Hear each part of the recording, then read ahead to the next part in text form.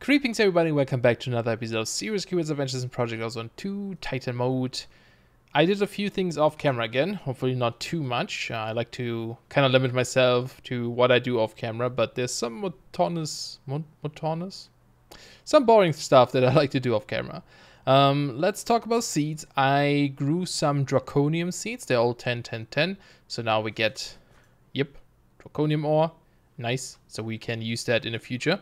I also made some experience seeds because I wanted to enchant my armor and such. I have like protection 3 and, uh, sorry, protection 4 and an unbreaking 3 on all of them.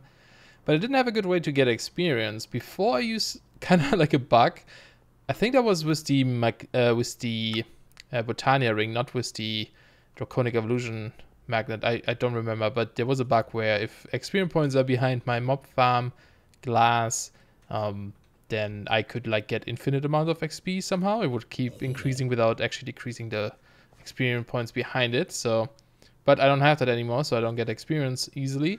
I do have a huge bedrockium drum with lots of mob essence. Um, there is a way normally to convert mob essence into um, into uh, it was a liquid experience from open blocks, but the the way to do this in here is, I think, disabled. I, I don't think we are able to do that. Um, if you know a way of converting essence into um, liquid experience points in this mod pack, keep in mind, things are different here. And on Titan mode, might also be different. Then please let me know. Only if you know. Don't guess, because guessing doesn't help. I am already guessing. It's not working. But yeah. Um, at the same time, I also added a tree farm over here, a pretty basic one. Uh, just getting some jungle wood because why not? I had it.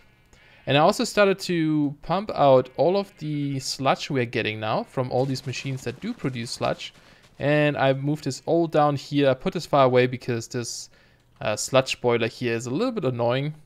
But it takes the sludge from the tank and it converts it into all kinds of different blocks. I don't think I can see here what it does, but um, it gives you like, for example, podzol. Can we see the recipe for that somehow. Sludge boiler. There you go. Yeah, you get some random blocks from this. And uh, it could be useful, right? So might as well do it and it just pumps it into my ender chest. So uh, that's been going for a while as well. I upgraded our uh, crafting system a little, little bit, added more recipes, um, added all speed upgrades and a uh, bunch more patterns here as well for uh, certain things. And also automatic or automated the, uh, the those processor crafting thingies here, and also the uh, crystal chambers. It's pretty easy with these advanced inscribers from my E2 stuff, because you, well, excuse me, there's a loud car outside. Uh, you can keep these items in here locked and have whole stacks in there and such. Um, but basically, each of these is taking care of one specific processor, right? They just have uh, interfaces at the bottom here with the recipe inside. So that way they can export it into the machine if I need it. And then they pull it out at the top. And then the last one here just combines them all uh, for the all three different processors. So this one has all these uh, recipes for that. And then the crystal chamber next to it has the pure uh, Certus quartz crystal and the pure flux crystal. So not nothing super fancy. Added some over here as well, just for skystone and stuff. Things I needed for uh, uh, certain like you know items I wanted to craft. So like the patterns, for example, we can make, uh, or I mean the uh, you know those uh, what I call storage components for like more more uh, storage, and then also cable, uh, smart cable, dense smart cable. Do you have dense? This is smart. I didn't add the dense one yet, I guess. That's a blind. I can do that eventually. So that's been pretty cool. It's been uh, helping me out a lot.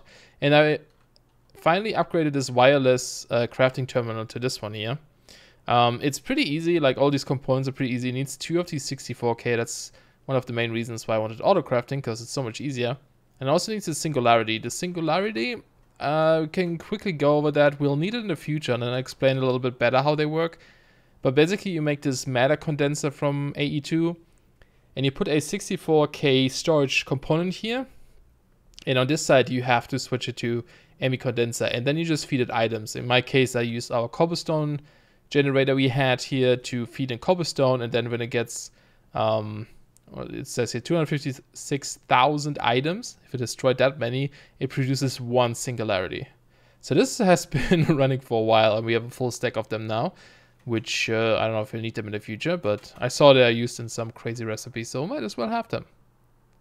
And then if you shift right click this, or actually just right click, I added that infinity boost card we found. I don't remember where we got this from, but we got this a while ago actually. And this one lets us use this thing in anywhere in any dimension. So we don't have to, uh, we don't actually need this like range thing anymore. So we can just go to like the nether or something and still access our inventory system. And it actually comes with a crafting grid as well, which is pretty awesome. It also has this magnet card, uh, card and if you activate this, it um, you can specify like you know whitelist or blacklist, but basically all items that are specified will go directly into the AE system. So it's kind of cool. It's not a real magnet that goes into your inventory, but it goes into the AE system, so that works as well. If I go over to my mining dimension, so I I did try out this new farming station, right? The AgriCraft farming station, and we um, forgot how to do the numpad 3, there it is, the recipe. Um, we needed these crazy farming base modules um, to, to do this, and that's why we built that um, capacitor farm in the in the uh, last millennium.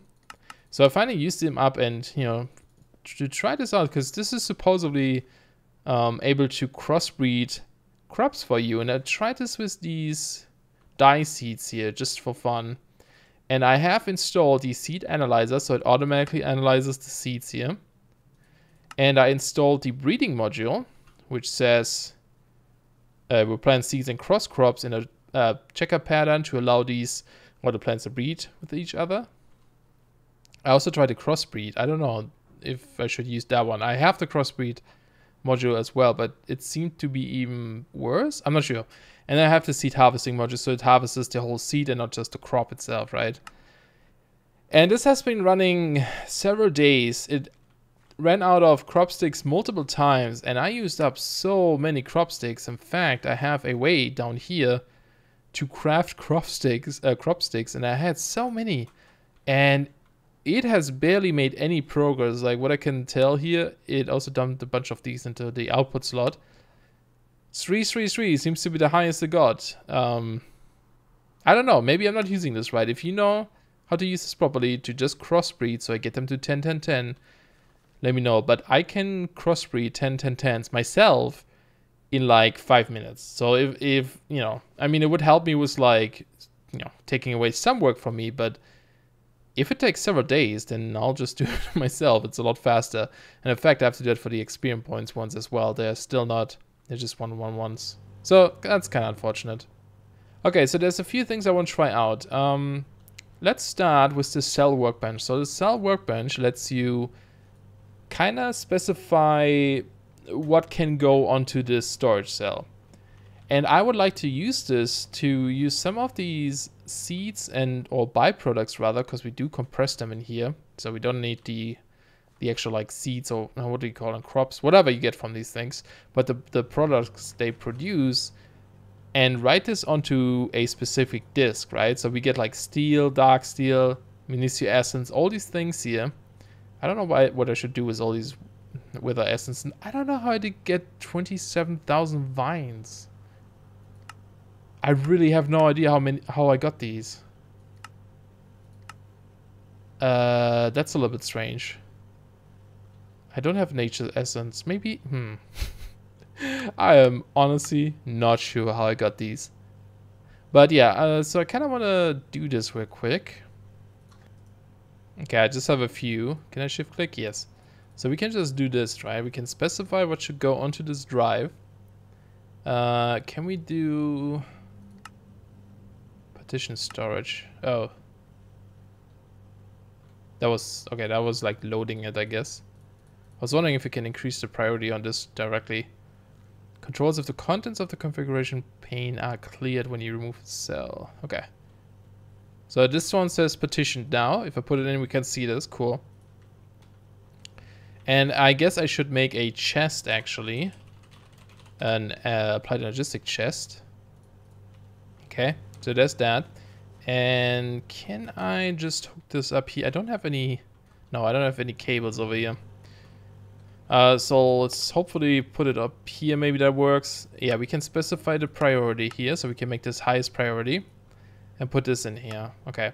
So every time we get stuff now from this farm, and I could actually just let this run because it should be fine. It should go into this thing now. And we can also check this if you access an ME chest from the top where you see the grid, you can see what's inside and you can see it's already stuff there.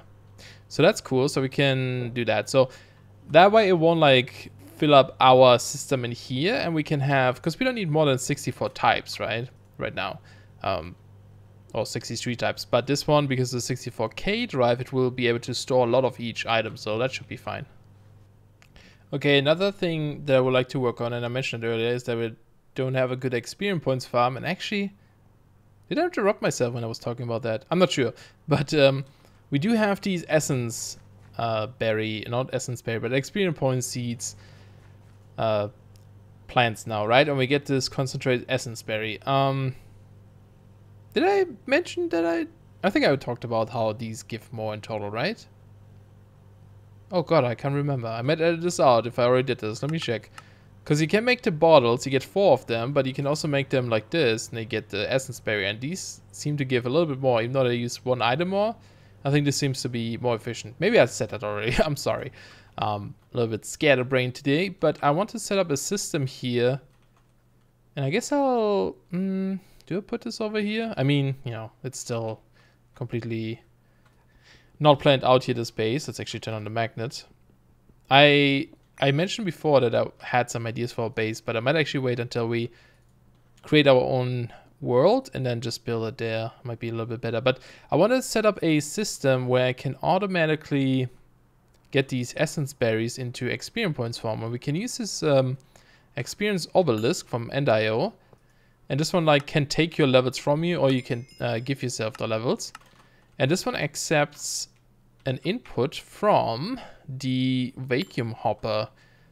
But I don't want to directly hook this up, so I'm gonna use some fluid conduits here. I need to build this far away, the, the thing I'm about to build, because I don't want my magnet to be able to interfere with this thing. Um, so, but I also don't want, it to be too far away. This is 8 blocks range, yeah. Is this 8? 1, 2, 3, 4, 5, 6, 7, 8. Uh, yeah, might be okay. I don't want this to be too far away either, because I have to run some cables down here. But we should be able to do um, this. And then say output experience liquid at the top. Uh, and then say auto extract. Uh, yeah, we can leave this on. How many levels do we have right now? Let's actually just take them all out. So we can easily see if it's working or not. And I don't have any blocks on me. Not a problem. Let's get some, I guess, stone bricks, huh? We always build in stone bricks. I'm just gonna build like a, it doesn't really need much, right? I'm just gonna suck it up in here. These vacuum hoppers are pretty cool in general, but uh, don't really need it for anything else at the moment. So let's put down an add autonomous activator. And we use this one to, let's see, want to do this. This is, uh, I don't know which side this is. Yeah, that's perfect. We're gonna use this to crush down the essence berries into XP, and then this hopper will pick them up as experience points. And I should be able to hook up... Do we have a channel left over here? Nope, that's eight channels. Okay. So, that should be it already. So we have an import bus here. Um, uh, sorry, export bus. And we should be able to just grab now the essence, like one of them, and say, yep, export this. And I'll probably have some acceleration cards. Oh, I do. Cool. Not that I really need to. Okay, that's going in here now. We say right click and always active. And I'll turn off my magnet. Okay. Um, do we have to go one further down? I wonder. Maybe sneak right click. There we go. Okay, so you can see the it's breaking up the experience points, the uh, those uh, uh, berries, and if I go away, I don't collect them. And they should all go into this vacuum hopper. And this should pull out the liquid now into this thing. So this should fill up. Yep, with experience. Awesome. And then I can, every time I need one, I can just come over here and say, oh, I need 20, 30 levels, right? And then dump it in again. Awesome. And make this a little bit prettier here again. Bam. And we also have the enchanter here, so right next to it. Cool. And apparently that was a quest. Oh yeah, making the XP obelisk. We get some bottles. Okay. I'll take the essence, I guess. Okay, I think what I would like to do now, I have a couple of things that I want to do, but uh, I think the next step for me is going to the end. I think I want to go there and kill the dragon. It should be, should be a big problem here. And I also just thought, now that we have like this um, chest up there with just the crop stuff, we should do the same for everything we get from this machine. Well, maybe not. I'm actually thinking, because like, okay, here's the thing, right? These, um, and maybe there's a way, maybe you guys know about this, maybe there is a way, but one issue I always have with uh, applied energistic storage is that unfortunately there's no way, in my, to my knowledge, to, wait, why are there only, oh no, no, they're filling up. Wow, it's so fast. Uh, there's no like way to get rid of excessive stuff, right? So let's say I have too much in this drive, right, and I can't put more in there, it will just try to dump it somewhere else then. Where with the storage drawers, you can have the void upgrades and say, okay, if it's full and you dump in more stuff, it just deletes it. And in fact, in 1.10, Minecraft 1.10, there's the mod called Refined Storage, which is basically a I don't know if clone is the fair word here, but it's pretty much a clone of Applied Energistics. And in that one, it actually does have drives where you can say clear all the excessive stuff. So that would be pretty pretty useful because then I would use it for like all the ores here as well. Because I don't I want to be able to let this run for hours and days without having to worry about filling my drives, right? So maybe having a huge wall full of storage drawers, fully upgraded, always void upgrades might be the better way to do it. And then just hook up a storage bus so that the AE system can see it. Yeah, that might be a better way to do it. But uh, let's go to the end. Uh, what one thing I want to bring with me here are these syringes. Now, I've personally have never used these in um, with RFTools, but basically what you can do with them is you can uh, extract the essence from mobs and uh, you can use it as it says there in a Dimlet workbench to make a Dimlet out of it, right? Because so you can create a world um, that has like dragon mobs inside. And I, I don't know if that's going to be super useful but i've seen people do that and there must be a, there must be a reason for that. So i'm just going to bring one get a bit of uh ender dragon blood. And to get to the end i think we need the end cake which i already made. Pretty easy to do. We have a ton of cake from our mob farm. And of course we need some eye of enders to fill the cake. And that's how we get there. So let's just put this over here to where we have all the other teleporters and stuff. Do we bring anything else, though? I can teleport back if something goes weird. Oh, you know what I should do? I should make a bow, and I was thinking about this. My crossbow isn't the greatest, right? Maybe we should try this bow of the Wyvern. Uh, I've never used it, and it might be awesome. There we go. And I should charge up in our inventory. Do we have arrows in here? We do. Oops. Does it say how much damage it is? Base damage 2. And you can upgrade it somehow. Oh, the power goes up. Interesting. Oh, those are weird looking arrows. Okay, well, we just try it out. Okay, and I think we just fill these with Eye of Enders and it replaces the cake. And there it is. And that should be... Yep, can take a bite. And we go to the end. and that probably won't be a huge issue. Screenshot! Maybe not the greatest screenshot. Uh, will do. Alright, so let's get the syringe out first of all. Um, I'll let you... How do... I think I punch him. I should have brought something that makes me fly a little bit faster. Yeah, and we can see the syringe filling up. No, come back. Come back here. That's a lot of crystals. This is more than usual. Okay, that one is full. And I'm gonna get a second one just in case I mess something up. We can respawn this dragon, so it's not a huge issue. Um, but you know, if you have it, you have it. So, yeah, there you go. Cool. Alright, let's get rid of some of these crystals. Whoa, that arrow was like flying sideways. Alright, I think that's all of them.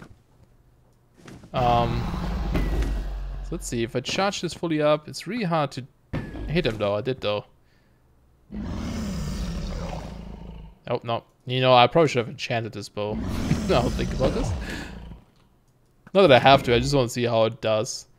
Alright, let's go finish this.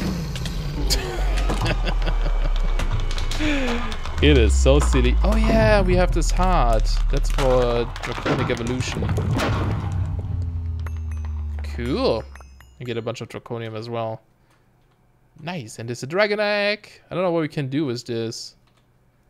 Uh, no recipe found, of course. Yeah, I want to look up if it's used for something. Can we use it for like energy or something? Our sundial. Okay, and covers. Let's make covers out of it. Well, we'll bring this one home. Cool. So what did we get? We got another one of these infinity boosters. We got an epic shader. Okay. We got the dragon heart. Again, I'm using a texture pack, so it looks different for you maybe. Probably, 100%. And did that do anything? No. Okay. And a ton of endermen. I just want to see what else there is. Um, I think if you fly out, you get to these draconic uh, islands. Oh, there's draconium ore here. Okay. Not that I need it. Oh, Minicio. Oh, cool. I didn't know that. That just grows here. There's more of this. Uh, ender lilies, don't need that. We can make ender pearls.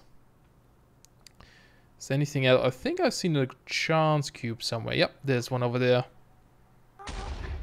Invisible gas. Oh, I hate these guys. Okay. That's fun. Um, and let's see, is there actually some of these crystals down? There's our platform. I don't know if we have Biomes O' Plenty in this. I think they usually have these crystals down here then. No, I don't think we have that in here. I'm not sure. I could look it up, but I'm lazy.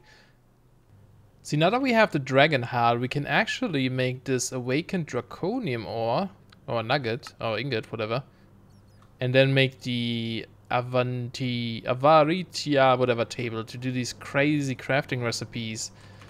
I have no clue how exactly this works, but I just read the book and it sounds like we need to get draconium blocks and then charge them. Alright, so drop the dragon heart on the ground and activate it with an explosion. Drop 4 to 16 draconic cores on the ground, 4 pair charged draconium ore, and then you place uh, up to four Draco charged draconic blocks near the heart. And then after a while, something should happen. So, okay, so I have 16 of these draconic cores. Let's get a little bit of TNT. I think maybe tiny TNT works. we'll try. If not, I'll, I'll bring some some other TNT. Um, and these are all charged now. Cool. Actually, maybe I should I should probably bring proper TNT right now before I mess this up. Let's just do that. Uh, I'll try the tiny one though, because the tiny one doesn't destroy items, I believe. Okay, and I'm guessing we can do that anywhere, right? Uh, I think the tiny one doesn't blow up stuff. We, we just tried here. Although I don't know if the ritual itself blows stuff up. Okay, let's go to... To the deep dark. Alright, we'll just do it right here. Alright, I'll turn off my magnet, because, you know, don't want to mess that up. Okay, I'll get the dragon heart. Tiny TNT. Do just, uh, I just drop it, right? Okay, get the lever and then I toss 16 of these into it. It just consumes and it will consume any items you toss at it, so you gotta be careful. And let's double check real quick. When do I place those blocks? Uh, it's always good to read. Now, okay. A few seconds after its initial activation, it will draw all nearby items towards it. Anything that is not a Draconic core will be destroyed. Now quickly place 1 to 4 charged Draconium blocks near it. You will know it's working when you see the heart's energy targeting the charged Draconium blocks. Okay. Well, let's try it out. Let's do that. That did not work. Okay. Aha, that looks a little bit better. Uh, so we dropped these 16. And then after it consumed them, okay, there you go. And then I do doot, doot, doot, doot, maybe? Yeah, particles are going into it. I think we're doing it right. Are they changing color? No, it looks a little bit like they were turning red or something. Ooh, it's going crazy. Are you gonna explode or something?